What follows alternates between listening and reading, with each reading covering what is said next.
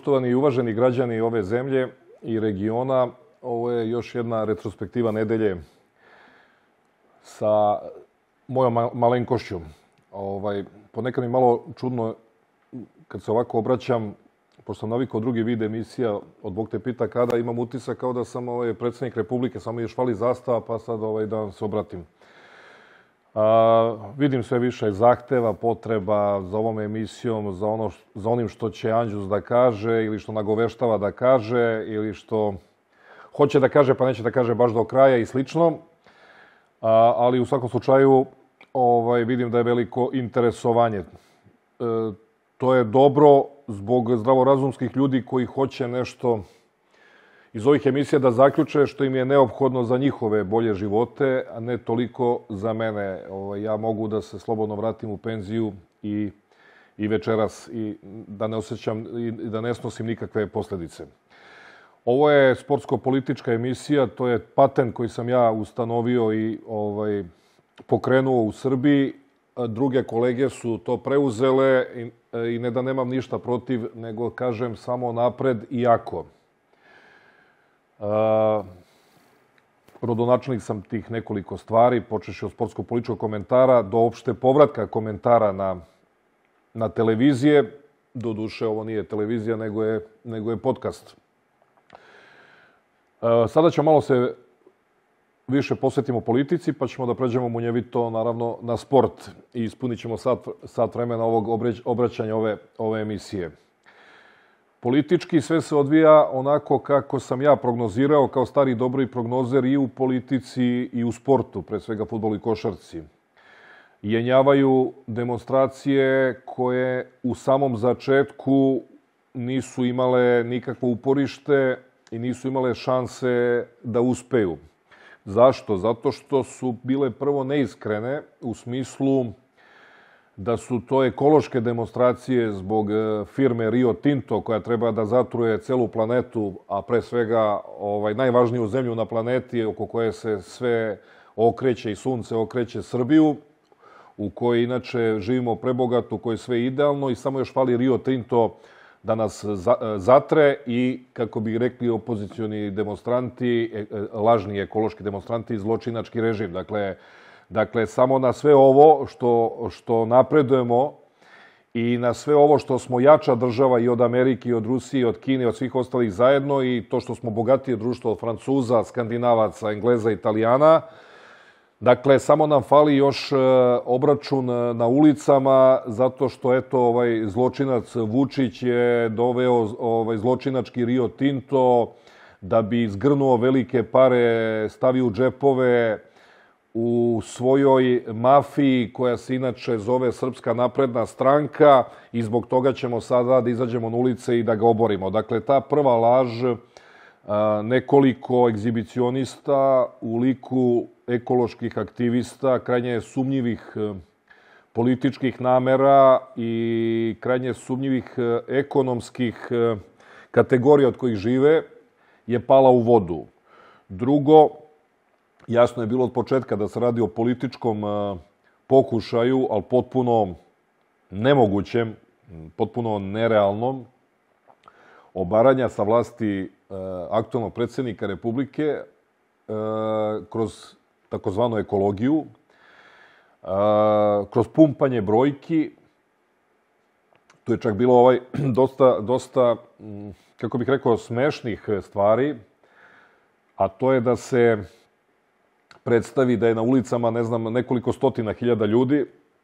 Nekoliko stotina hiljada ljudi nije bilo ni prilikom obaranja Slobodana Miloševića onog dana u Beogradu kad je predstavljeno da je bilo pola miliona ljudi. Nije bilo, niti je moguće biti na beogradskim ulicama više od 200-250 hiljada ljudi.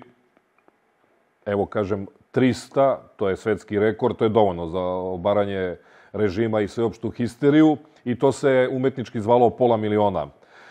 A kamoli, uh, uh, uh, ne znam kako bih nazvao, neregularne demonstracije, blokade puteva, gde vi vidite da na tom određenom delu puta je nekoliko desetina ljudi, nekoliko stotina ljudi, a malo dalje u širem pojasu je, da kažeš, nekoliko hiljada ljudi. Sad zavisi šta je Beograd, a šta je Šabac. Ono što sam ja video u Šabcu, tu na ulici nema 500 do 1000 ljudi. Dakle, treba pogledati, evo, pošteno snimak Šapca, videti tamo snimke gde je gospodin Zelenović, videti onaj trenutak kada dolazi bager, iza njega automobili i videti ko stoji ispred vozila, ispred bagera, ispred automobila.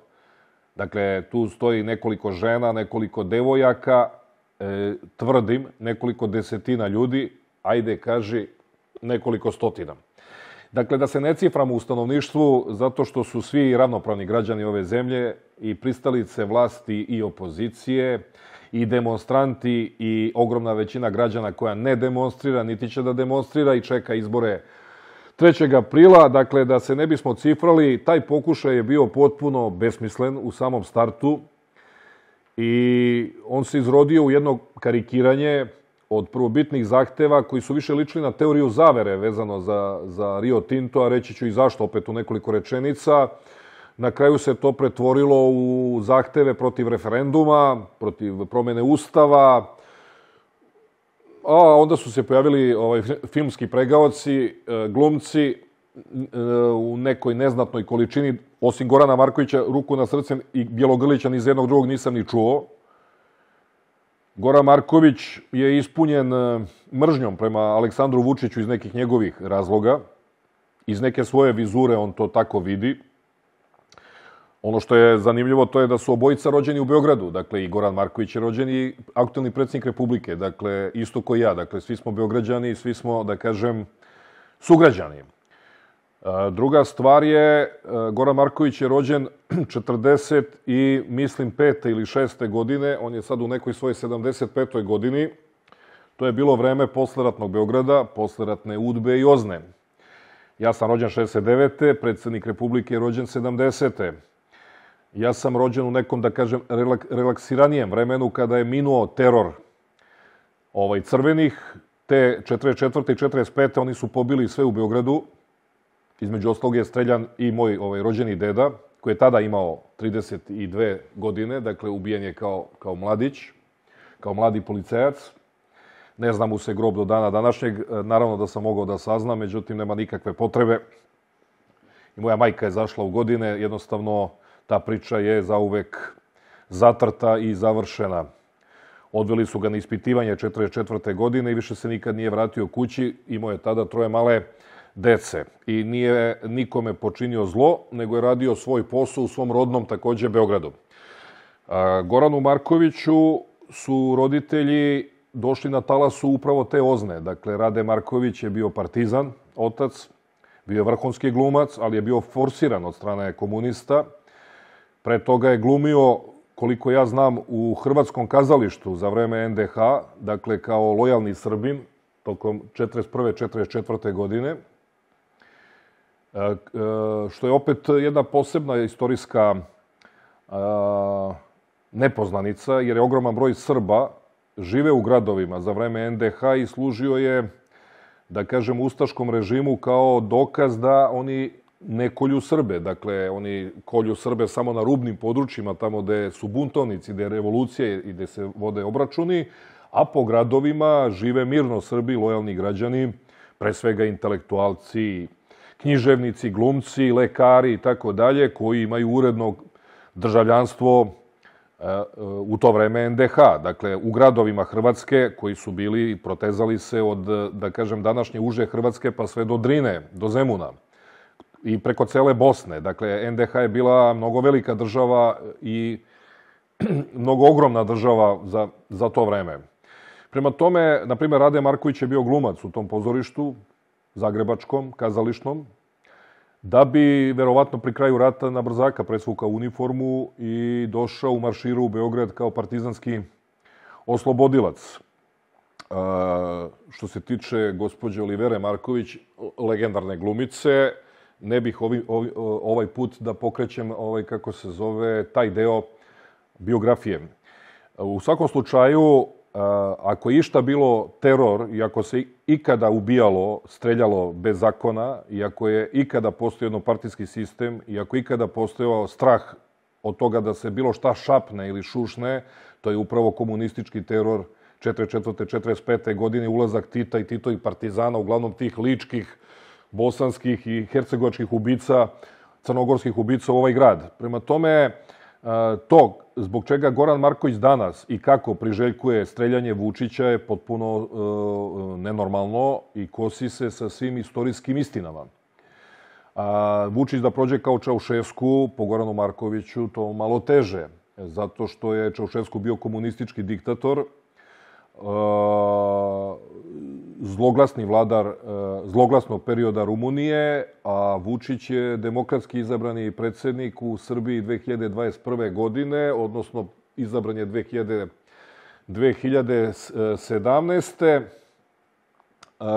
na izborima na kojima je učestvovalo 20 partija i sada će se ići ponovo na izbore na kojima će učestvovati brat bratu 50 partija u četiri kolone, od čega su u najmanju, u najmanju ruku tri opozicione, a samo jedna je vladajuća kolona. Dakle, ta količina istorijskih laži, besmisla i mržnje, recimo koje, koje izlazi iz usta Gorana Markovića, se na neki način ne moraju zauzdati, nego on sam, e, čovjek treba da pogleda sebe u ogledalu, da stane, da razmisli u svoj 75. godini i da se nekako situacija ovaj dovede dovede u neki razumni red. A inače, što se tiče Čauševsku, a tu padaju u vodu i neke druge teorije, a to je e, teorija velikih ekonomista opozicionih današnjice, kako nas je Vučić zadužio, kako je zadužio ovu zemlju. Pa onda e, se naravno zaboravlja e, da ceo svet funkcioniše na osnovu kredita i na osnovu, na osnovu te potražnje, na osnovu uzimanja kredita za razvoj. Dakle, možemo da pričamo o Americi, koliko je prezadužena Skandinaviji i svim zemljama Evrope, možemo da pričamo i o drugu Titu, a možemo da pričamo i o tome da tako funkcioniše svet, jer Međunarodni monetarni fond i uopšte sve te svetske bankarske institucije funkcionišu upravo na, na tom osnovu. Dakle, oni ti odobravaju novac za velike projekte, kojima ti planiraš da razviješ zemlju, a istovremeno oni kroz to vide zaradu. Dakle, to su u stvari veliki bankarski sistemi. Oni ti daju novac da bi, da bi oni zaradili, a da bi se ti ovaj, unapredio. I to je tako zamišljeno, zato to tako i postoji. Dakle, kada to ne bi postojalo, ukinulo bi se banke u čovečanstvu. Dakle, bankarski sistem bi nestao ne bi postojao. Dakle, pojam, ba, kao kada bi se ukinuli sudovi, ne bi postojali advokati, ne bi postojali, e, postojali zapisničari, ne bi postojali tužioci. Dakle, kada bi ukinuo tu vrstu posla, ti bi automatski ukinuo ono 7 do 10 profesija usput. To isto važi i za ovo.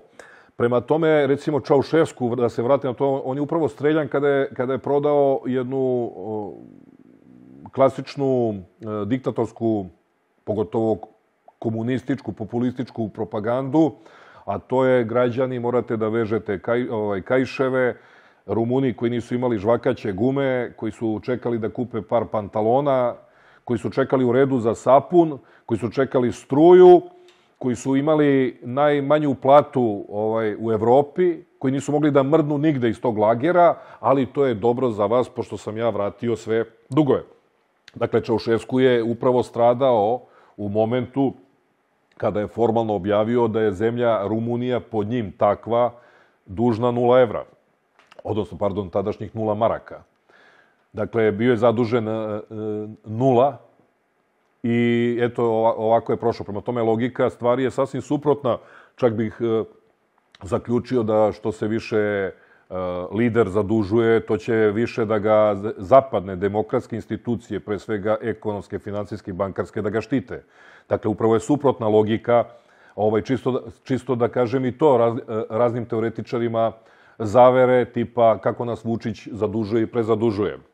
Dakle, upravo logika ovaj, on da je pametan, on bi trebao još tri puta toliko da nas zaduži, time bi kupio ovaj, dugoročno svoju vladavinu, zato što bi ga svi veliki financijski bankarski sistemi sveta samim tim čuvali. Dakle, isplati se sa njim poslovati, a kako se zove, moraju da ga čuvaju samim tim da bi mogli da računaju na povraćaj svog novca.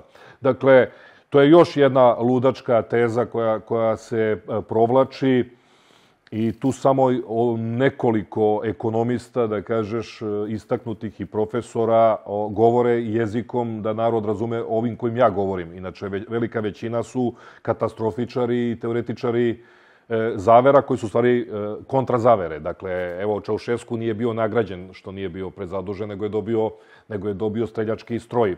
Prema tome, e, paralele praviti, ovaj, izazivati takvu vrstu mržnje i takvu vrstu ovaj želje za osvetom, da se ide do logike streljanja Vučića do podsjećanja na Čaušesku, na Čaušeskua, koje je dakle, potpuno besmisleno, jer vidi se recimo da Goran Marković ne poznaje politiku, dakle ne poznaje ni političku istoriju. Dakle, ta paralela ne stoji, dakle maši čovek temu. On treba da se drži filma, treba da se drži predstava. Ovaj, ja ruku na srce mislim da njemu treba dozvoliti da ta sredstva da, da, da, da radi te filmove pod uslovom da pobedi na tim konkursima, pod uslovom da mu taj projekat bude usvojen, ali ovaj, mislim da je zaista sramno da priželjkuje u svoj 75. godini uh, da bude streljan njegov sugrađanin, predsednik Republike, koji je čovek u najboljim godinama, koji sada ima 50 godina i koji inače, uzgled budi rečeno, tek je u svom prvom mandatu na mestu predsednika Republike. To je što se tiče toga i onda tako možemo dalje da analiziramo te demonstracije. Jasno je ko dan da od toga nema ništa. Videli smo i taj razgovor između predsjednika Republike i aktiviste Save Manojlovića. Nisam se uopšte iznenadio ovaj, da ga je Vučić pozvao. On taj problem nema. I nasmeo me metodologijom. Dakle, to što sam gospodin Manojlović kaže, Prvo se nije javljao na nepoznati broj telefona, dakle samim tim iznenađen što Vučić ima običan broj telefona, dakle nema neke specijalne cifre, jer to mnogi prevaranti u ovom gradu imaju te silne dvojke i trojke da bi dali sebi na značaj. Meni čim neko da broj telefona 063-2222, ja odmah znam da je prevarant. Znači samim tim što znam da nije ni na kakvoj funkciji, niti ima značajno mesto u tajnoj službi ili tako nešto, jasno mi je da je naštelovo taj broj da bi delovo značajniji u društvu kada kada da, daje svoj broj telefona. Dakle, ja imam recimo broj telefona takav da ja ne mogu da ga zapamtim koliko je bezvezan.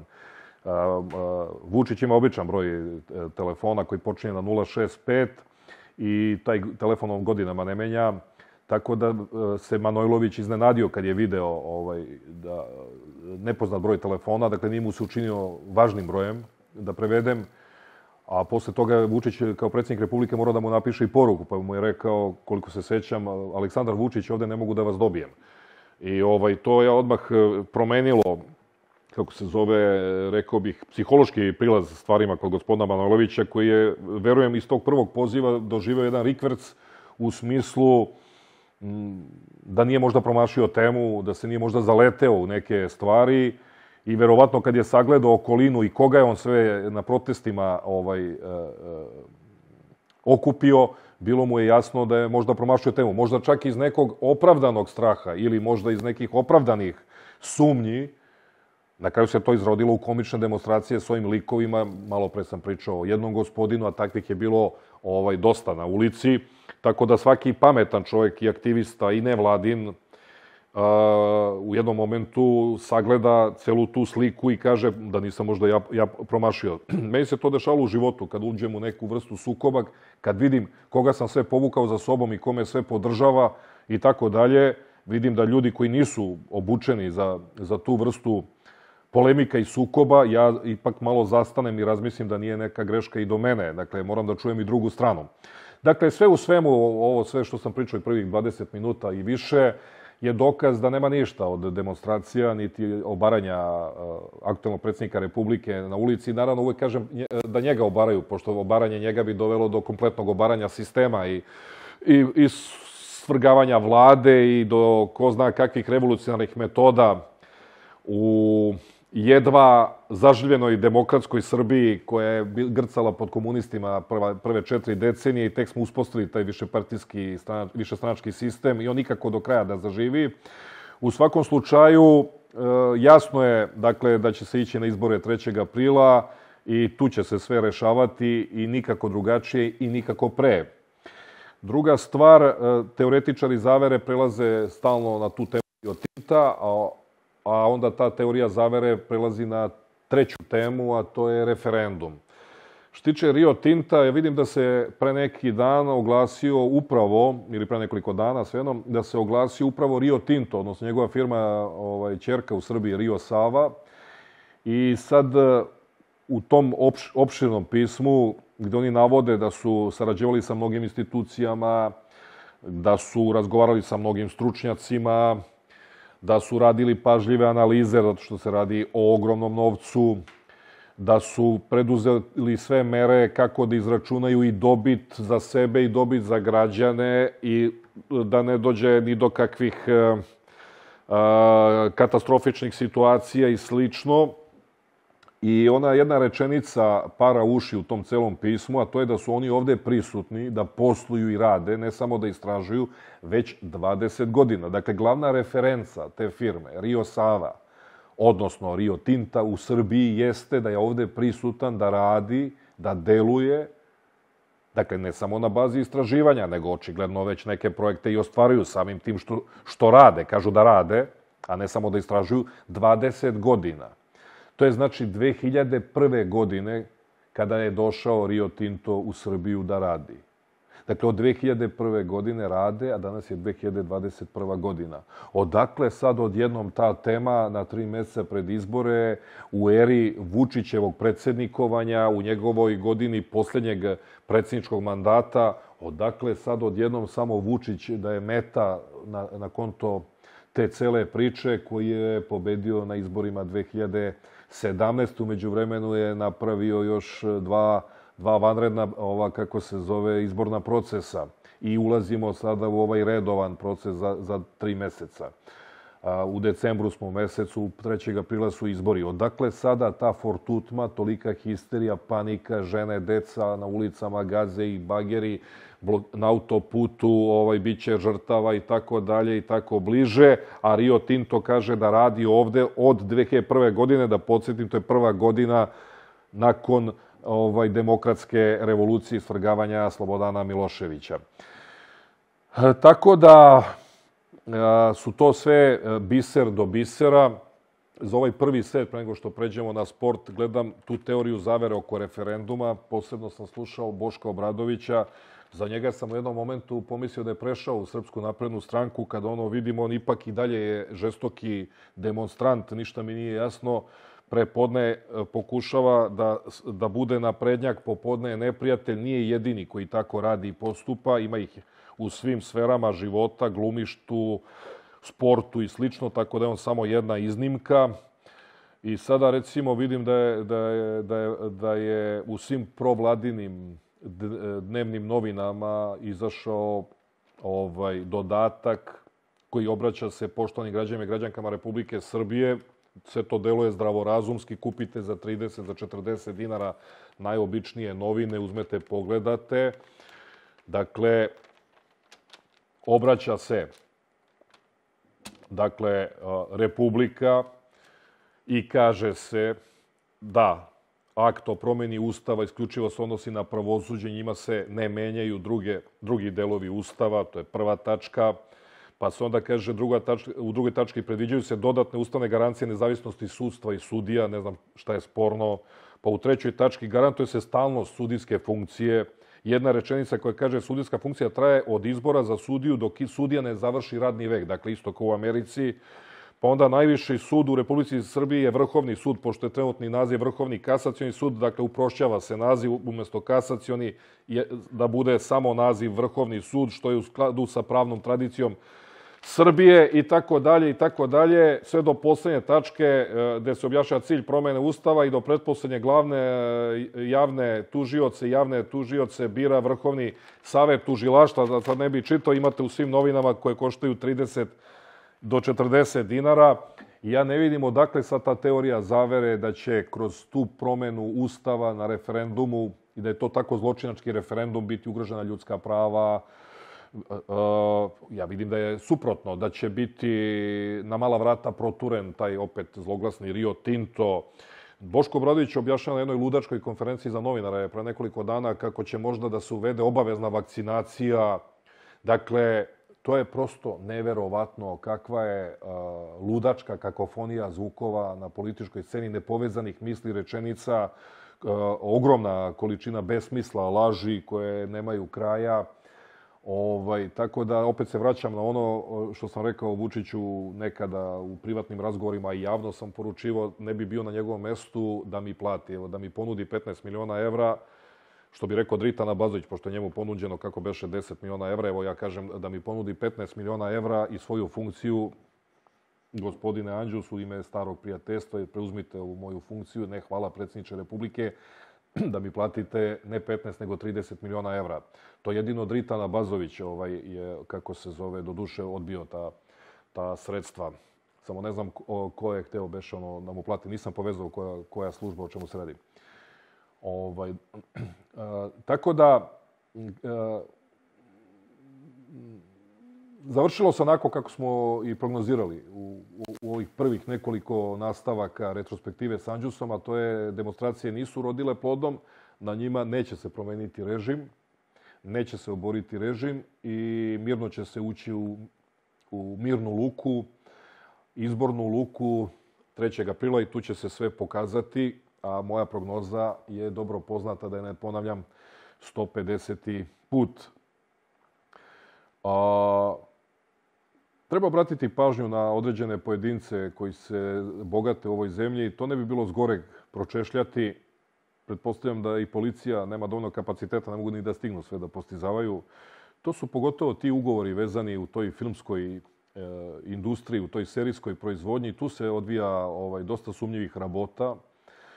To je to što je išlo preko, preko ranije preko Telekoma, a, a, a uglavnom preko Filmskog centra, preko RTS-a, a to je ogroman budžet za serijski, dokumentarni, filmski program kojim, da kažem, dosta nekontrolisano, nekontrolisano upravljaju određeni pojedinci za koje ja nikad nisam čuo ili ako sam čuo njihovo ime i prezime mi ne, ništa ne znači, a može se reći da su to redki pojedinci koje zapravo fizički nikad nisam ni vidio u životu. Ovaj, nikad, nikad nisam video kako, kako izgledaju fizički ti, ti ljudi. Ko je taj direktor programa Vladan Škrkić da on ovaj, ima tako diskrecijono pravo da, da u tolikoj meri ovaj, se pita za filmski i serijski program na RTS-u i onda do mene dopiru tu najneverovatnije priče, najneverovatnije informacije o nekakvom budžetu od 40 miliona evra za snimanje serija, pa to rade određene ovaj, producentske kuće koje su zapravo tašna mašna firme registrovane ili na rođaka ili na sobstveni stan I onda recimo pojedinac koji tu o, treba da uzme po seriji milioni 200 hiljada evra, pa onda taj pojedinac radi osam serija za dve godine, pa to je 10 miliona evra. To su neke čudne priče kojima bi trebala policija u narednom periodu da se pozabavi. Svakako ne može predsjednik Republike to sve da stigne, niti mu je to u obimu posla. E, mislim da smo dosta ovaj, pričali o politici uz sav moj napor da neke stvari još ne iskažem opet imam problem kako da neke pojedince ovaj, dovedem u red, zato što je dosta komplikovana situacija oko, oko njih, pa nekako ne volim ja da iskačem, hoću da, da saslušam ovaj, uh, nadležna mesta vezano za te pojedince, a i da se čuje suprotna strana. To je jedino što mene koči, da, uh, a to je, to je taj usud me i ranije pratio da mnogima od njih, kako se zove, definitivno napišem biografiju. Dakle, da to, to je jedna cela galerija pojedinaca, kojima bi ja posvetio kompletnu kojima bih posvetio kompletnu emisiju i onda bi ušli u istoriju. Dakle, sat vremena posvećeno samo jednom jedinom imenom, imenu i prezimenu sa svih strana, onako da mu ostane za manet, za uh, ovaj, dugosećanje. A, tema sporta. Uh, opet katastrofičari, što više katastrofuju, to su uspesi sve veći. Kad kažem uspesi, mislim na dva glavna srpska brenda, a to su Partizan i Crvena zvezda, odnosno Crvena zvezda i Partizan. Zato što navijači Zvezde i Partizana ne vole da se e, prvo imenuju. Da se drugo imenuju, pardon. I onda na osnovu toga procenjuju da li navijaš za Zvezdu i Partizan. Ako, ako kažeš prvo Partizan pa Zvezda, onda si Partizanovac. A ako kažeš prvo Zvezda pa Partizan, onda si verovatno Zvezdaš. Što ne mora da znači. I treći brend e, je nacionalni brend, a to je reprezentacija Srbije, pogotovo u ovim vodećim ekipnim sportovima, pa i u ostalim sportovima. Dakle, futbol, košarka, rukomet, vaterpol, odbojka, muška, ženska konkurencija, tenis, videli smo sada i boks da je oživeo, judo, rvanje, videli smo olimpijski sport. gde su takozvani mali sportovi u koje prvi put ulagano doneli olimpijske medalje, i to mali individualni sportovi, što je najveće što, što su opet zakazali neki individualni sportovi na koje smo računali. Do duše, ja sam znao da tu neće biti uspeha, ali se verovalo, a to su recimo veslanje, a to je recimo atletika i to je recimo karate. Ova, izvinjam se, atletika, veslanje i plivanje. To su sportovi koji stalno daju nadu da će nešto uraditi na velikom planu, na olimpijskom planu, od ta posla nema ništa. Do duše ogromna i konkurencija, ali to važi i za ove druge sportove koji donose olimpijske medalje. Međutim, videli smo karate, videli smo staro dobro legendarno srpsko streljaštvo, dakle ono njima kapa dole strelcima od kad postoje na svetskoj mapi, to je Srbija je vele sila streljačka, na njih se uvek može računati. I nismo stigli dovoljno da im se zahvalimo i da naglasimo. Meni je otac bio ovaj, dugo streljački funkcioner, tako da veoma dobro znam sistem i organizaciju rada u streljaštvu i koliko to iziskuje napora, koliko je to naporan sport i koliko je to tehnike potrebno i vrlo rano mora da, da se počne time se baviti. To je zaista ovaj, jedna nauka, jedan sport koji jako podsjeća na, ša, na šah u tom smislu da je, da je velika misa ona i psihološka, a da ne, ne kažem i tehnička igra u pitanju. A, ali e,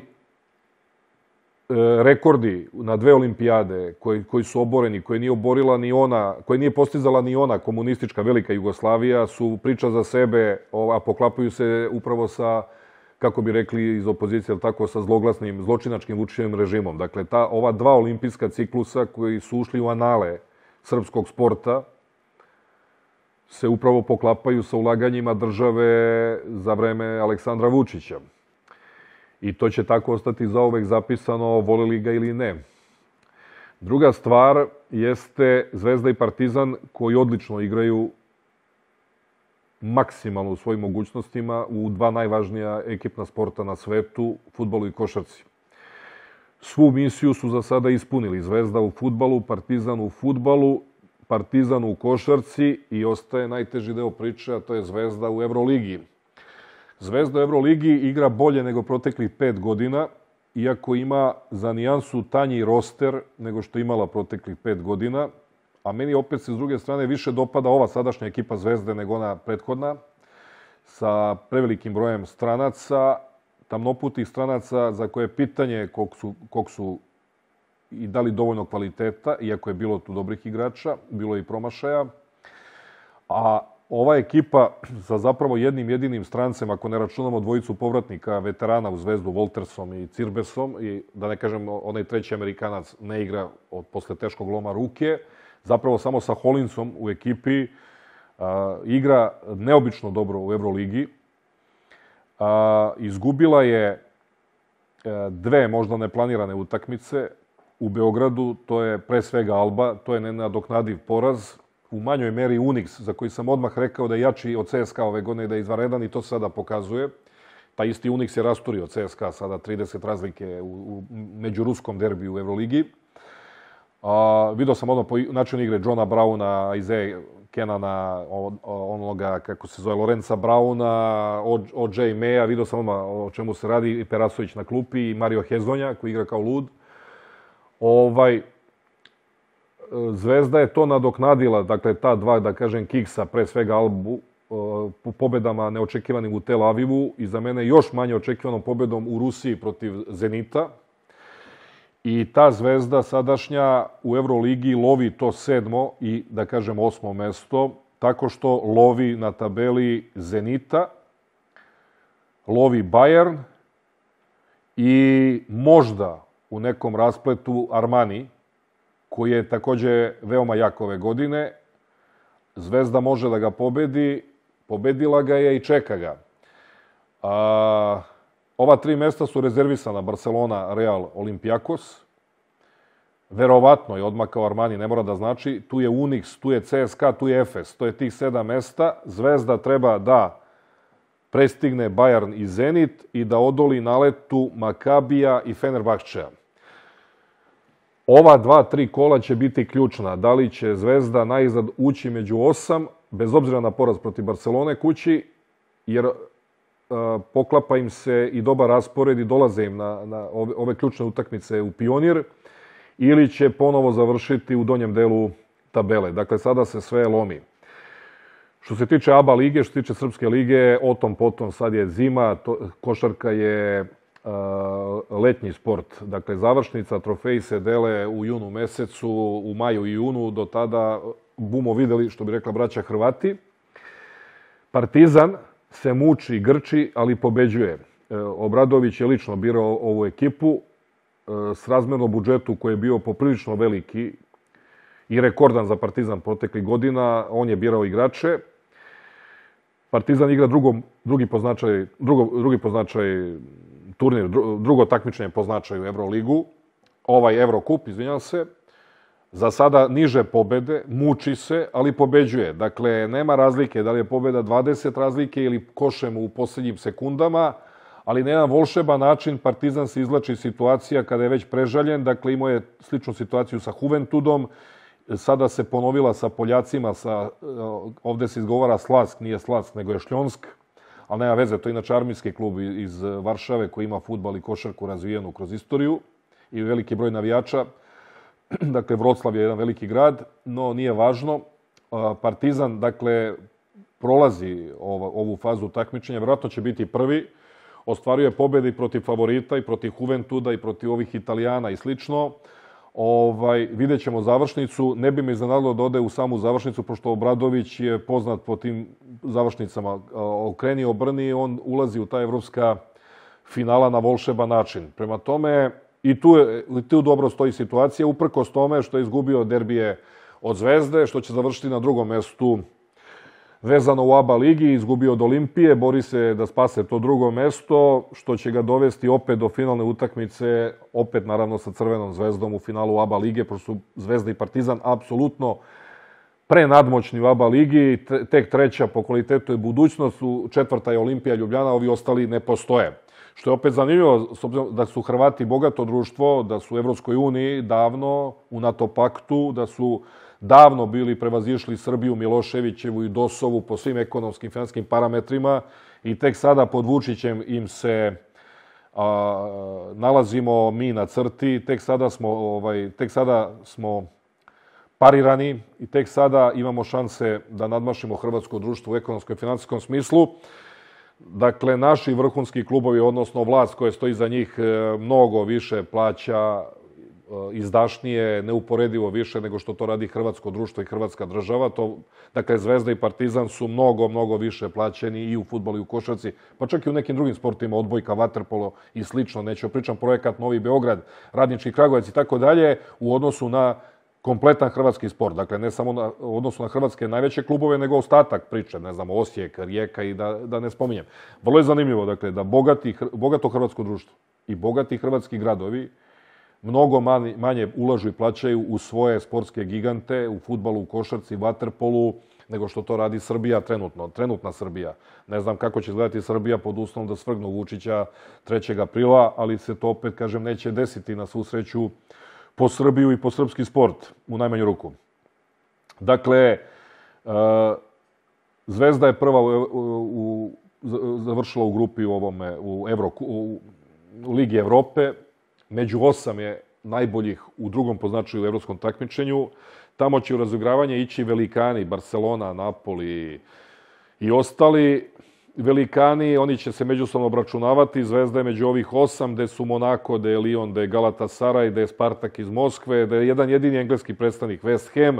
Svi španski velikani će dakle igrati kvalifikacije Real Sociedad, Barcelona, Sevilla. Zvezda je među ovih osam i ovo jeste uspeh pa nije jednak naravno Bariju, ali je u svakom slučaju jedan od najvećih uspeha Crvene zvezde u njenoj istoriji u Evropi. Dakle, ako gledamo od zvezdinog učeća 56. godine. U, u, tada je Zvezda debitovala u kupu Valdasajanskih gradova, Partizan u, u kupu šampiona. Dakle, ovo jeste jedan od najznačajnijih zvezdinih evropskih rezultata u njenoj istoriji, ako pogledate precizno i pažljivo zvezdinu istoriju, ulazak u osminu finala Lige Evrope u novonastalim okolnostima gdje ima povećan broj protivnika, kola, sve ono što nije bilo u evropskim kupovima do skoro. Dakle, po starom kupu EFA, na, na osnovu starog kupa Sanskih gradova, kupa kupova, nisu bili ovi kriterijumi i ovoliki broj klubova. A da ne pričamo o novčanoj razlici, da ne pričamo o broju stranaca koji su tada bili limitirani, samo na zapadu su bili klubovi koji su primali po dvojicu stranaca. Pričamo o nekoj staroj epohi futbolskoj. Partizan je svoj posao odradio, Stanović je odradio maksimalno posao. Dakle, osim što je ušao u istoriju Partizana po broju utakmica na, na, na kojima je sedao na klupi Partizana i nadmašio sve trenere Partizana kroz istoriju, obezbedio je evropsko učešće Partizana u tom takmičenju u kome je Partizan nastupao. Vidjet ćemo na proleće šta će biti i pobegao je Zvezdi značajnih pet bodova i osvojio je ovu nezvaničnu jesenju titulu prvaka. Pojedincima se naravno čini da je Partizan siguran prvak. Uz uspeh u Evropi treba da se poklone Stanojeviću. Međutim, oprez Partizanovci, jer to što je Novica Tončev uradio Crvenoj zvezdi, igrajući za Partizan više nego za sebe, pošto radniku nikakvi, nikakvi bodovi u, ta, u tim utakmica protiv Zvezdi Pazana ne trebaju, niti je radnik išta dobio tim bodom na Marakani, nego je samo ojadio i oštetio Crvenu zvezdu. Dakle, on kao, kao radnik nije dobio ništa. Nešto malo je dobio na rejtingu kluba, na vrednosti igrača, ali u svakom slučaju ta utakmica je bila više šteta po Crvenu zvezdu nego korist za rad, radnik.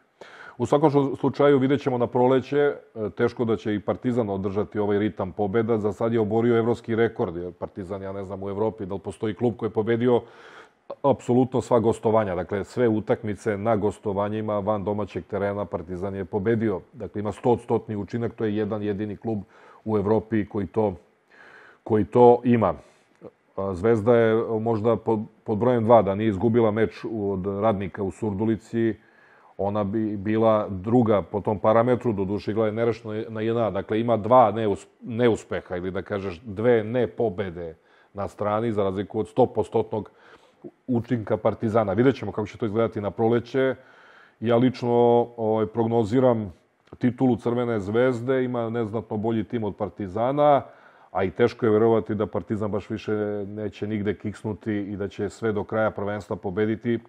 To bi bio inače rekord nad rekordima, to nije bilo ni za vreme Zečevića i Bjekovića 90. godina, što bi rekli Mirka Marjanovića, a to je da se ostvari 100-stotni učinak na strani. To je ovaj jedinstveno, jedinstveno u svetu futbala, a ako se to ostvari, ne znam, kapa dole Stanojeviću, treba da ostane doživotno trener Partizana na užas neki kritičara. Dakle, Zvezda Partizan u futbolu svoj maksimum su ispunili, sve zadatke evropske su sa desetkom ovaj, diplomirali. U košarci Partizan je s desetkom diplomirao svoje takmičenje uz napore, ali svejedno pišu se pobede, nema tu ovaj, zna se kako se zove da u sportu piše e, na semaforu na kraju balade šta je istina, šta nije. Možemo da raspravimo o tome filozofski, da li se e, utakmica izvukla, da li se igralo pogrešno, da li se moglo igrati bolje, da li je outsider protivnik iskoristio sva naša neznanja, slabosti, ali na kraju ipak naša znanja i uloga favorita je došla do izražaja, tako da su ipak pobede na strani oni koji znaju, a ne onih koji malo manje znaju. Tako da je Partizan u futbolu u košarci ispunio maksimalan evropski cilj, pa čak i ovaj unutar, unutrašnji domaći cilj. Zvezda u futbolu ispunila evropski cilj, kaska za domaćim ciljem, Vidjet ćemo, kažem, za mene je onaj dalje favorit. Zvezda u košarci gazi, domaći cilj je sav, mogući ispunila, ponovo je prva na tabeli ABA lige i opet, kažem, po prvi put posle pola decenije je na putu da zaigra osam u Euroligi, a tvrdim ako se bude dokopala osmog ili sedmog mesta, ne bi me iznenadilo da Zvezda uđe, da napravi podvig i da uđe među, među četiri. Ako bi bilo osmo mesto, to bi bio meč sa trenutno Barcelonom, teško. Ako bi bilo sedmo mesto, to bi recimo bio meč sa sadašnjim Realom ili Olimpijakosom i tu već rastu šanse. Ili recimo ako Real iskoči na prvo mesto do kraja ovaj, Evrolige, a Zvezda bude osma, njoj recimo Real leži. Zvezda češće pobeđuje Reala, čak i u Madridu, a redovno u pioniru u odnosu na Barcelonu. To je inače i futbolsko pravilo. Zvezda kroz istoriju i u futbolu je pobeđivala Reala, a nikada nije pobeđivala Barcelonu. Dakle, bio sam na utakmici kad je igrao Maradona ovaj, i 4-2 za Barcelonu, a bio sam i na utakmici kad je došao Real kao favorit i bilo je 4-2, ali za Zvezdu. S tim da je polovreme bilo 3-0, trebalo je da bude 5. Pa recimo Pižon je debitao protiv Reala uh, kao omladinac još, pa ih je rasturio, pa je Zvezda pobedila tu utakmicu na turniru 2-0. Pa recimo uh, Džajić je dao jedini gol u istoriji svojoj glavom upravo Realu, pa je Zvezda eliminisala Reala u kupu kupova. Kad se činilo da će osvojiti kup kupova, ispala od Ferenc Varoša. Dakle, Real, po tradiciji, Zvezdi leži u oba sporta. Vi imate bezbroj pobjeda košarkaša Zvezde kroz istoriju nad Realom. I 70. godina u starom kupu šampiona, kad su igrali Kaponja, Duci Simonović i Moka, što takođe ljudi zaboravljaju. Dakle, e, kažem, Zvezda bude li se dokopala osmog mesta i utakmice sa Realom ili Olimpijakosom, ne bi me iznenadilo da uđe i na, i na Final Four. Dakle, toliko katastrofičarima. Za ostale klubove, o tom potom ovaj projekat Novi Beograd u Waterpolu ima šanse da osvoji kup šampiona u Waterpolu. Ne bi me iznenadilo da iste šanse ima i Radnički iz Kragujevca. Takođe love tu regionalnu titulu. Videli smo da Radnički iz Kragujevca je pregazio 14-7 u Ligi šampiona Dinamo iz Bilisije u svojoj grupi. Videli smo da hrvatski velikani gube najzad od srpskih klubova već dve godine u toj regionalnoj ligi. Videli smo da Radnički iz Kragujevca kao prvak Srbije pobeđuje prvaka Hrvatske Mladost iz Zagreba, dakle najveći klub na svetu u istoriji svetskog vaterpola, uz Proreko. I na trećem mestu je Partizan, s tim da je Beograd jedinstven grad i po tome što ima oba prvaka Evrope u, u vaterpolu sportu, kao sportu broj 3 po važnosti u srpskom narodu, a to su i Zvezda i Partizan prvaci Evrope. S tim da je Partizan forsirao taj sport uh, za vreme komunizma i dovlačio sve najbolje igrače, a Zvezda je bila bazirana samo na beogradskim igračima, a onog momenta kad je Zvezda uložila u taj sport, a to je počelo početkom 90. godina pa se zastalo i kada su dovedeni vrhunski asovi, ostvaren je evropski uspeh. Dakle, za vaterpolo ti je potrebno da imaš 5-6 vrhunskih svetskih igrača u ekipi i eto to, ti jurišaš na evropski tron. A to se može sa neznatnim sredstvima. Doduše, ta sredstva nisu mala, ali su recimo od milion do 2 do 3 miliona evra. Vidimo da je oživeo ženski rukomet ovaj Slovenac je odlično vodio ekipu Uroš Bregar na ovom prvenstvu sveta. Mi imamo problem inače struke u muškom i ženskom rukometu. Ovi slovenački treneri su ovaj izvaredni. U poslednje vreme oni su ovako neka vrsta avangarde modernih trenera u tom sportu. Odlično je vodio podmlađenu ekipu, otišle su ove veteranke, igračice svetskog kalibra kao što je Andreja Lekić i još ove ostale, ovaj, ovaj pivotmen Pop Lazić i tako dalje, a ove klinke su odigrale fenomenalno i ostvarile su tri neočekivane pobede i nisu mogle da se izvuku protiv dva apsolutna favorita, Francuske i Rusije, inače bi igrale završnicu mnogo jakog svetskog prvenstva u kome su otpali mnogi favoriti prvak sveta, Holandija, Rusija, Hrvatska i tako dalje. Na desnom krilu igrala mala Lovrić koja ima 21 godinu, Jovana Stojković je briljirala na levom beku, samo jedan iskusni igrač je bio tu ovaj, u, u ekipe, on što sam ja pogledao utakmicu, srednji bek, ovaj Liščević. Pivotmen je odradio svoje, dva golmana su dobro branila Risović i ova Graovac, uh, tako da vidjet ćemo u narednom periodu. Taj sport je zamro bio, uništeni su klubovi, umrli su klubovi, ne postoje na mapi Evrope, niti su obe reprezentacije postojale, ni rukometna muška, ni ženska. Rukomet muški je poslednji put imao svoj podvig u Beogradu pre više od 10 godina, bio sam na tim utakmicama i tada sam konstatovao da je osvojena medalja, osvojena srebrna medalja koja će se pamtiti na domaćem parketu, dakle zbog domaćeg terena. Videlo se odmah da je to domaća reprezentacija, da ona nema šta da traži na bilo kakvom turniru van Srbije, van Beograda. Dakle, i to treba oživeti. Videli smo da je Zvezda oživljena u muškoj odbojci, videli smo da je Zvezda oživljena u ženskoj odbojci, tako da kažem, ovaj, dosta je ulaganja. Videli smo boks, donesena je medalja, ona je na mišiće izvađena tako što su angažovani ruski asovi.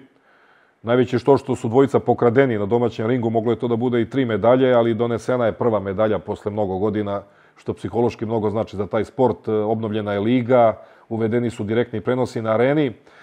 Prema tome, ne treba se gledati crnim naočarima, naočarima Ray Charlesa i Stevia Wondera, treba malo pogledati i neka svetlija nijansa, neke svetlije naočare, modernije naočare, sunčanije.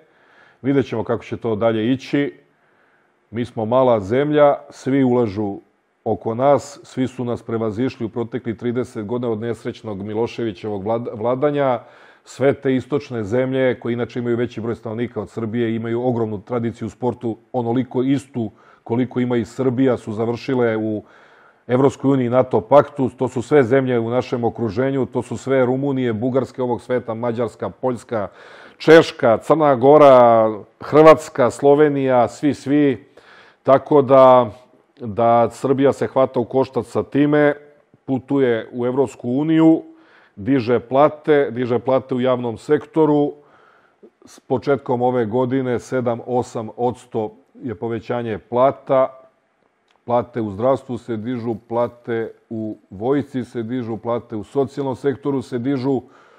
Kome se ne dopada, naravno, demokratija je širok drum, širok put, može da uzme pasoš, da proba da uspe u belom svetu. Pretpostavljam da će toga biti sve manje u Srbiji, za kojom uspešno upravlja da mi je neko rekao pre 30 godina, mi smo bili veliki prijatelji, pratio sam ceo taj razvoj da će izrasti u velikog lidera i državnika i da će biti uspešan čovjek pre svega na geostrat, geopolitičkom planu i ekonomskom planu, ono što ja uvek preferiram, to pričam o Vučiću, to ovaj, ne bi bio spreman da potpišem pre 30 godina, a sada moram da kažem da će se pamtiti kao najuspešniji srpski lider uz uh, Josipa Broza Tita, s tim što je Tito bio komunistički diktator. Dobro, posle on glumio priču, posle on više nije ni bio komunista, bio je isključivo samo vladar, bio, i to vojnog tipa, pošto je bio maršal, imao i čin. Za razliku od Vučića, da podsjetim Gorana Markovića, Vučić nije maršal. Ovaj, u svakom slučaju, niti je vojni režim, niti je vojna struktura na vlasti, uh, nego civilni, demokratski i višestranački. Možda je to čak i loše za Srbiju. Srbija možda navikla još na čvršću ruku, ali kažem, ovaj, u svakom slučaju, a, više pozitivnih nego negativnih stvari. Naravno da ja primećujem sve te zabave za narod koje mogu da iritiraju, tipa ti, ti reality i ostalo, ali, kažem, narod izgleda to voli. Pa pošto to vole, to će i da im se emituje. Ja lično ne gledam te stvari, ali ima ko su, ko su konzumenti i ta industrija ima svoju prođu i kada biste i to ukinuli kao jao strašno ovi reality što su grozni i tako dalje, tu bi desetine ljudi, stotine ljudi ostalo bez posla. Ostali bi bez, bez posla scenaristi, ostali bi bez posla režiseri, ostali bi bez posla kolege kamermani i tako dalje i tako dalje. Ostali bi bez posla novinari, ostali bi bez posla čitave neke privatne televizije. Tako da, pre nego što se uđe u neku katastrofičnost i pre nego što se demonstrira na ulici, sa histeričnom željom da se što pre dođe na vlast i da se neko strelja, ubije, zakolje, treba tri puta, tri puta razmisliti.